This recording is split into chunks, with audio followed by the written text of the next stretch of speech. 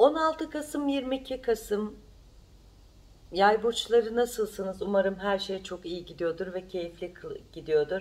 Ee, şöyle söyleyeceğim, e, işle ilgili değil de tahmin et, e, etmediğimiz bir ailemizde bir sağlık problemi, bununla ilgili e, biraz can sıkıcı olaylar söz konusu olabilir. Ameliyat ya da ailenizde bir büyüğümüzün bir ameliyat telaşı.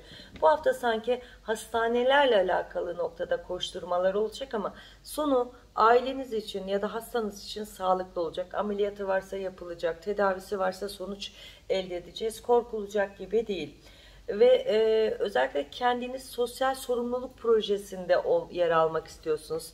Yani kendinizle alakalı iyilik enerjinizin daha ön planda olduğu ve artık kendinizi tamamıyla farklı iyilik felsefelerine adapte edeceğiniz ne oldu? Yay burcu Türkiye'de yaşamamaya mı karar verdin?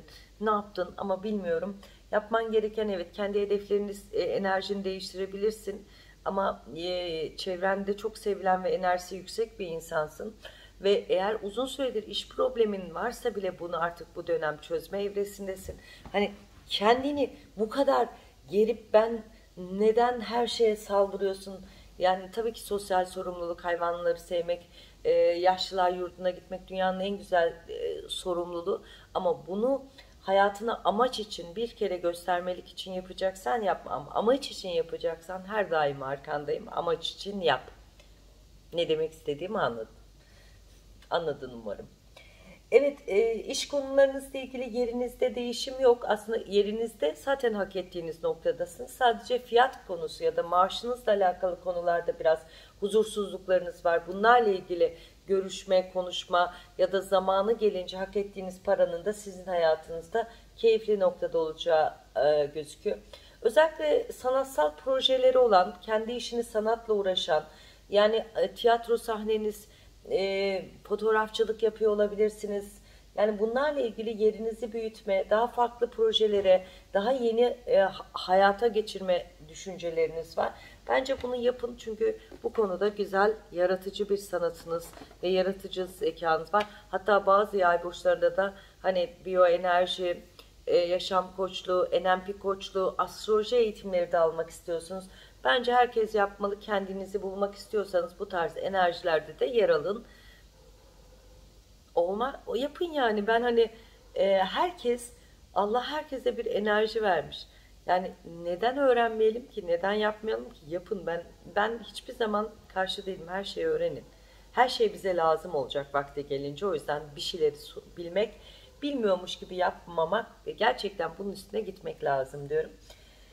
Devletle çalışan, devletle ilgili sıkıntısı olan bazı e, yay burçlarında da mahkemesel sorunlar söz konusu olacak. Sonu hayırlı ve aydınlık. Bir satmak istediğimiz değil de almak istediğimiz bir toprak ve arazi işiniz var. Bunu da çok güzel bir anlaşma yoluyla alacaksınız. Bu da size iyi gelecek.